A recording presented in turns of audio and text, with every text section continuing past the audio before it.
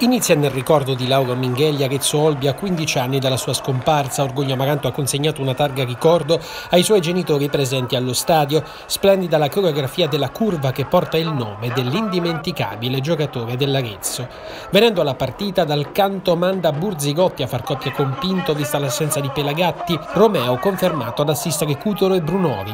La gara è ostica, l'Olbi è schierata in modo quasi perfetto e non lascia quasi fiatare l'Arezzo che infatti chiude il primo tempo senza trovare pericoli. Nella ripresa va ancora peggio, con gli Amaranto che ringraziano Seter solo davanti a Pelagotti manca clamorosamente il vantaggio. Sembra uno 0-0 ormai scritto e invece a due dalla fine è stavolta l'Arezzo a colpire. Proprio con Burzigotti, su corner di Serrotti, incorna perfettamente e regala tre punti pesantissimi che portano l'Arezzo al secondo posto solitario della classifica riequilibrano le partite a favore e quelle a sfavore, così siamo tutti contenti. Oggi non diciamo più che siamo stati rimontati e parliamo di qualcos'altro. Una gara che si è fatta più complicata forse anche di quelle che erano le previsioni, loro avevano studiato forse bene l'Arezzo imbrigliandolo soprattutto fin dal primo pressing. E l'Arezzo cosa ha sbagliato magari quando doveva costruire?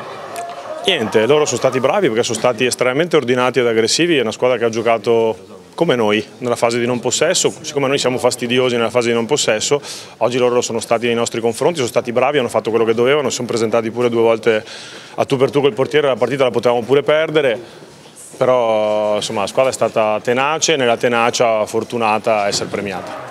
Oltre a quegli errori sotto porta, poi quelle mosse dalla panchina, lì una piccola scintilla c'è stata. Guarda, abbiamo finito con 7 under, credo. Quindi è più che sufficiente per spiegare che dobbiamo stare tutti sereni e tranquilli, che la squadra sta, facendo, sta approfondendo il massimo di quello che può approfondere, penso un po' di più del massimo che può fare, quindi andiamo avanti sereni. Ecco, diceva prima dell'egoismo, che cosa voleva dire? che è la seconda domenica consecutiva che abbiamo la palla da addormentare per far fischiare la fine all'arbitro e invece è la seconda volta che andiamo verso la porta per voler far gol.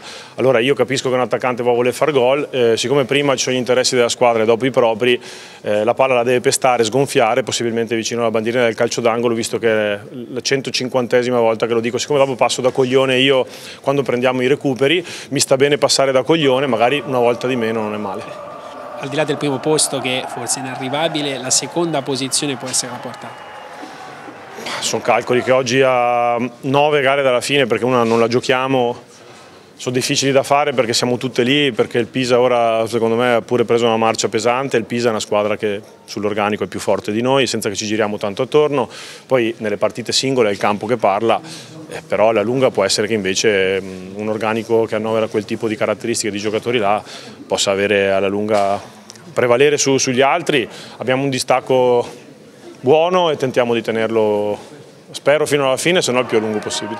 Abbiamo fatto una partita di grande spessore in casa di una squadra forte, eh, come descritto dalla classifica e per l'ennesima volta ci troviamo a dover eh, commentare una prestazione positiva, forse una delle più positive, che però non ha portato poi a quanto avrebbe dovuto portare in termini di, di risultati, in termini, in termini, di punti.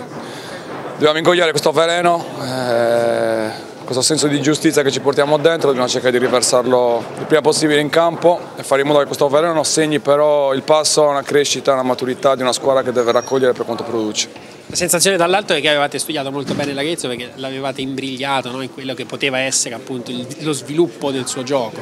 Io penso che poche squadre siano venute qua abbiano fatto la prestazione che ha fatto oggi l'Olbia perché l'Arezzo è una squadra forte, abbiamo fatto una prestazione di grandissimo spessore mettendo in difficoltà l'Arezzo sia nello sviluppo della loro azione ma anche producendo gioco, soprattutto nel secondo tempo. Li abbiamo chiusi nella loro metà campo, però è vero che le partite si vincono comunque facendo gol e non, e non prendendolo e su questo abbiamo peccato. Ecco, da criminare forse una disattenzione nel gol perché questo angolo era stato battuto, no? non, era un angolo velocissimo e Burzigotti ha avuto tutto il tempo di mirare l'angolino.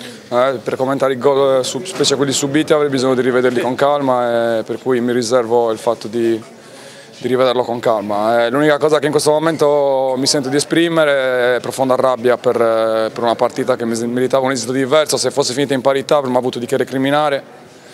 Invece ci troviamo addirittura a, commentare una partita, una sconfitta e quindi l'unico sentimento che prevale in questo momento a caldo è profonda, profonda rabbia, ma non deve essere una rabbia fino a se stessa, deve essere una rabbia che poi va, va portata in campo.